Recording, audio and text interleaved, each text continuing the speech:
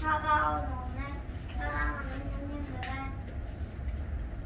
졸업을 축하합니다. 언제까지나 함께 즐겁게 지낼 수 있을 것 같았는데 형님들과 헤어져야 하는 마음은 정말 섭섭하지만 더 넓은 세상과 더 높은 꿈을 향해 간다고 하니 축하합니다. 우리 가는 어린이집에서 형님들과 함께 지냈던 시간들이 생각 따뜻한 봄볕 아래에서 꽃씨를 심었더니 놀이터에서 즐겁게 뛰어놀았던 일 모두 다 잊지 못할 거예요.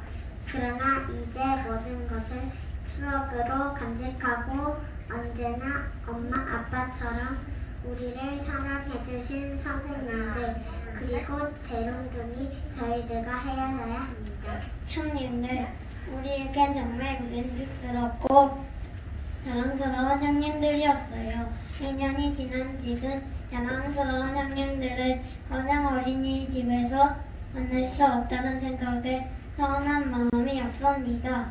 이제 건양 어린이집을 졸업하고 초등학교에 가더라도 우리 동생들 잊지 말고 열심히 공부하여 건양 어린이집을 한껏 빛내주세요.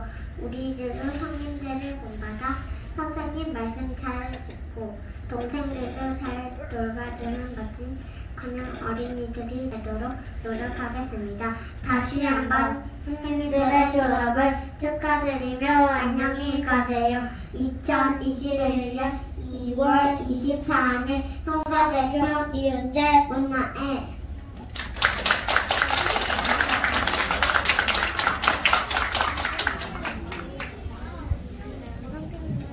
성사에 이어서 건양 어린이집의 후배들과 선생님을 떠나는